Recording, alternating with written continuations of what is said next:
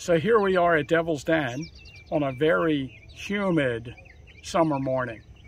One of the interesting things about Devil's Den is that people come here to enjoy not just the battle action at Devil's Den or learn about the history, but also the natural history. We have the rocks themselves, which are an attraction, but we also have snakes. And, you know, there's lots of stories about the snakes at Devil's Den. But even, even though that's the case, I find that when people come here on the tour, they are surprised by the fact that we can often see a snake in the rocks. And you know, it's really tough in the humid summer uh, to find snakes. But in the spring and the fall, when the, sun are, sun, the snakes are sunning themselves, it's pretty easy to find a snake. And when I do school bus tours in the spring, I go out of my way to try to find a snake in a rock and point it out for the kids, and they get a big kick out of it. This particular crevice here in this rock, and maybe we can pan just a little bit to show everybody where we are. Um, on any given day in the uh, spring or the early summer before it's too hot, you can look in this crevice and usually you can see a snake. It's usually better to come here to look for snakes in the early morning uh, before it gets too hot when the snakes are trying to get some sun here. But uh, there's a, a famous incident that occurred in front of this rock, and we'll uh, post a photograph right here, uh, where Gary and I were doing a video for Gettysburg Daily, and I wanted to point out a snake, and we didn't, we weren't able to point out a snake, but we found a snake skin in this rock that was longer than eight feet, which is just amazing to me. Um, the, the large snakes in the rocks of Devil's Den usually are the black rat snake.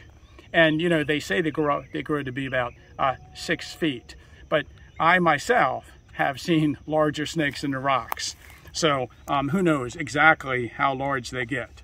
But of course, you know, uh, a lot of people would tell people, uh, tell visitors in the past that the whole reason Devil's Den is called that is because of the large snakes.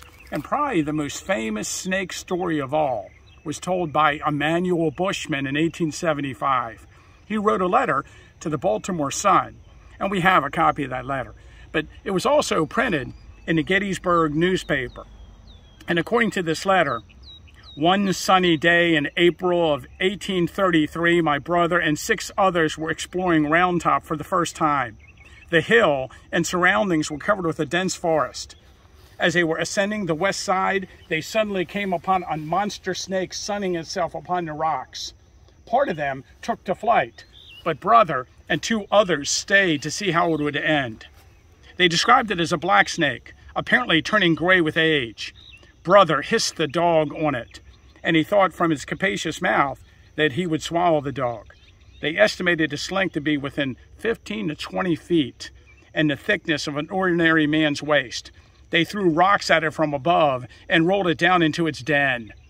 Frank Armstrong saw it and was badly frightened. Father saw it before that, about a mile from there, at the big rocks called Devil's Den. Grandfather says in his time, um, he saw it and mother says the Indians used to speak of it as heap big snake. And, you know, it's kind of interesting. Um, other people uh, afterwards kind of picked up on this. This was written in 1879 and became very popular as an explanation for why we call it Devil's Den. And there's a letter in 1913 by Sally Myers Stewart, of course, who lived here at the time of the battle. Her uncle owned a farm on the other side of Big Round Top. And um, she spent a considerable amount of time here as a young girl. And she says in this letter, there is a wrong impression which I wish to correct, and that refers to the name Devil's Den. Many persons have been told that the name was given to those immense rocks because of the fierce fighting there during the battle. My uncle, John Plank, was one of the early settlers of the county, and his farm included part of the Round Top. As a child, I have heard him tell of the snakes which infested the country and had their den among the huge rocks. Parties of men were organized to rid the neighborhood of these dangerous reptiles.